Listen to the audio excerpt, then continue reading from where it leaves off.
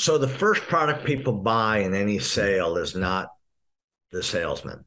We always say, well, we're, what's the first product they buy? Well, me. No, that that's the second product they buy into. The first product they buy into is your emotional state, particularly your emotional state of yes. confidence. Because most people mm-hmm. operate on a low state level a low emotional state level. And so they need to borrow from your state that's highly energetic and confident. They borrow from you to say, to move from a no to a maybe or a yes. Okay. So you, you got to come in there ready to take on the world. Yeah, but we I've had like I've had a day and a half. We, we 150 calls a day was our folks that they had to make at least 150 calls a day. It's like I've done over 225 calls. No, no, no, no, no. 225 times. Come on. So it's like, well, you know, grow a backbone and do it. You know, what do we have to do and how do we build ourselves up emotionally? Just get in love with a fat wallet and hate an empty bank account.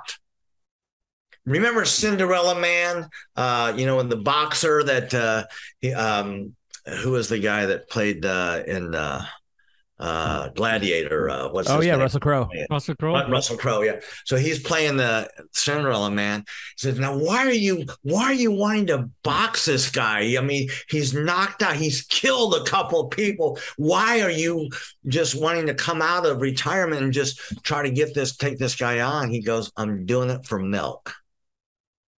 Hmm if you remember the movie here was during the depressions here and they they they they had the milk and they kept watering it down just so it was barely white just so they can you know the kids would think it's milk and and he says i'm i'm fighting for milk mm. you know so uh, you, you, gotta you gotta know it's like we get all in the psychological stuff and we got all these psychological diseases that we have nowadays that you know it's like and it's not like it's not valid but just just shut the F up, sit down, and get after it.